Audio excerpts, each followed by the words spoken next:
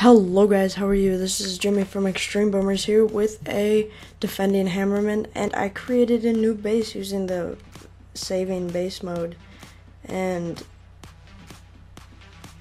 this is an amazing base. Um, I have a sheet, oh sorry about that, Christian keeps texting me. Um, but I have a sheet that shows how you should create a base and I think it's like level 16, 15 up and here's how it goes. You put all your all your uh, mines on the beach in a row right here, and then you put right behind that you put your flamethrowers.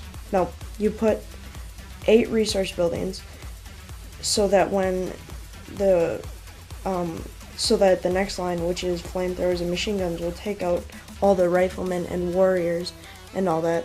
And right behind that, you have like your boom cannons to take down the big troops and cannons and sniper towers. And then behind that, you have your you have your prototypes, rocket launcher, shock launcher, boom cannons. Right behind that, you have the rest of like your sniper towers and cannons. And then you have resource buildings and then mortars, which don't really do anything, but they're just the last line of defense. And I will show you how you did, how I did with this base. I'm just gonna load back my other base quick. And then here is Hammerman defending. Let us view battle.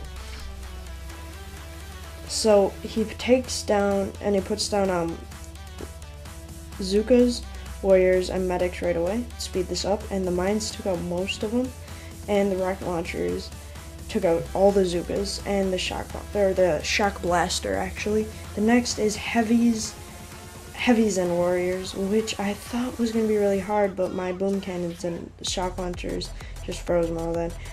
Um, I wish a few mines would have been saved to hit those uh, riflemen, and then the grenadiers came out, which surprised me. I don't know why, but I was like, oh no, I'm not gonna pass this. But this was like, oh wait, that's the last boat, so it's okay. So it didn't even get, it didn't even destroy anything past the second row of defense, and there's like four or five rows. So um, this is a really good base. Um, um, level like 16 and up, I'm pretty sure. And again, it goes mines, eight resource buildings, flamethrowers, machine guns, um, and then sniper towers and bo- cannons, boom cannons, and then shock launchers, um, rocket launchers, um, shock blasters, and the rest of your sniper towers after that. Um, prototype, I meant.